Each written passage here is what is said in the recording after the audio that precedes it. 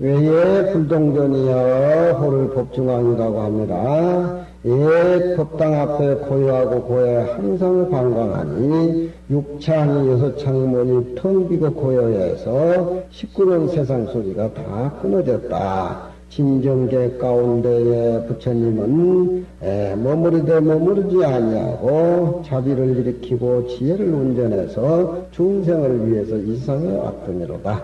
중생을 위해서 왔으며 마치 그 모습은 저 푸른 버드나무 방초 언덕에 어디든지 푸른 폭이 또 그런 포도나무 가지 잎새 하나하나가 높으신 부처님 모습 아닌 것이 없다.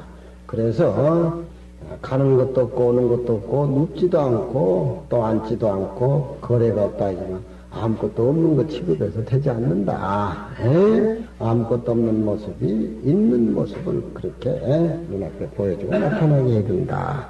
적정이입은 부처님의 모습은 적정이하지만 그 적정이 속에 삼만만상의 모습에 비쳐서 그 그림자를 거울이 다다 수용하듯이 수용하면서도 전혀 그게 집착을 한다든가 어떤 감정이 가지고 있는 것을 너무너무 자비와 지혜로 감싸 안는다. 그런 얘기.